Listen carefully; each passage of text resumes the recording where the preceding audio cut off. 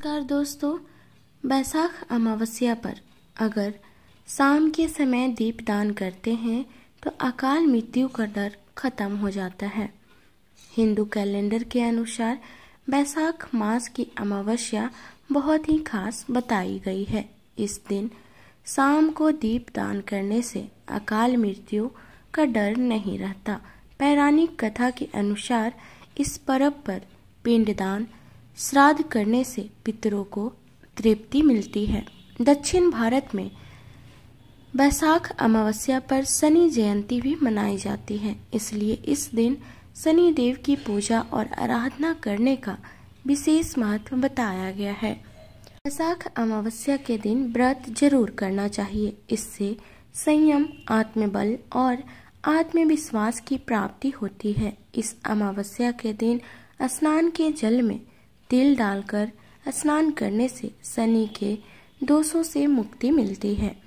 इस दिन पितरों के निमित्त तर्पण करना चाहिए। इससे उन्हें मुक्ति मिलती है। पितृ दोष निवारण के लिए बैसाख अमावस्या के दिन पितरों के नाम से गरीबों को भोजन करवाएँ। इस दिन स्नान करके सूर्य को जल में तिल डालकर अर्घ देने से ग्रह दोष दूर होते हैं। बैसाख अमावस्या पर पीपल के पेड़ के नीचे दीपक जलाने से रोग मुक्ति होती है।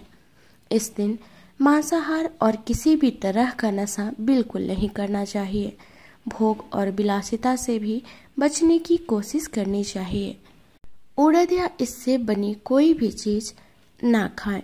मांगलिक कार्य शुभ कामों के लिए खरीदारी और नए काम की शुरुआत बैसाख अमावस्या के दिन भूल कर भी नहीं करनी चाहिए।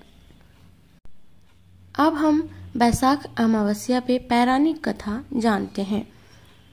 बैसाख अमावस्या के महत्व से जुड़ी पौराणिक कथा के अनुसार धर्म वर्ण नाम के एक ब्राह्मण थे। एक बार उन्होंने किसी महात्मा के मुख से सुना कि कलयुग में भगवान विष्णु के नाम स्मरण करने से ज़्यादा पुण्य किसी भी काम में नहीं है। इसके बाद धर्मवर्ण ने संसारिक जीवन छोड़ दिया और संन्यास लेकर घूमने चले गए, यानी भ्रमण करने लगे। एक दिन घूमते हुए वे पितृलोक में पहुँचे। वहाँ उनके पितृ बहुत ही कष्ट में थे। पितरों ने बताया कि ऐसी हालत तुम्हारे संन्यास के कारण हुई है, क्योंकि उनके पिंड दान करने वाला कोई नहीं है। पितरों ने कहा, अगर तुम वापस जाकर गृहस्थ जीवन की शुरुआत करो और संतान उत्पन्न करो, साथ ही बैसाख अमावस्या के दिन विधि विधान से पिंड दान करो तो हमें राहत मिल सकती है।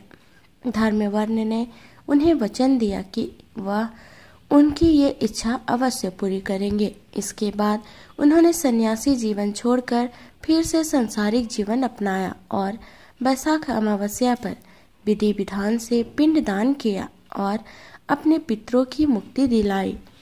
अमावस्या के दिन नकारात्मकता बढ़ जाती है। मान्यता है कि इससे नकारात्मक शक्तियाँ व्यक्ति को अपने प्रभाव में लेने लगती है। इसके निवारण के लिए इस दिन लोगों को हनुमान जी का नाम जप करते रहना चाहिए। हो सके तो हनुमान चालीसा का पाठ ज़रूर करना चाहिए। ऐसे व्यक्ति जो भावुक होता है, उस पर अमावस्या का अधिक प्रभाव होता है। इसलिए व्यक्ति को जो आज के दिन पूजा पाठ में ध्यान लगाना चाहिए, मन पर नियंत्रण रखने का प्रयास करना चाहिए। इस दिन तामसिक खाद्य पदार्थ यानी मांस, मदिरा, लहसुन, प्याज से दूर रहना चाहिए। इसका शरीर के साथ आने वाले समय पर नकारात्मक असर भी पड़ता है। मिलते हैं ऐसे ही नेक्स्ट वीडियो के साथ। तब तक के लिए अपना ध्यान रखिए। धन्यवाद।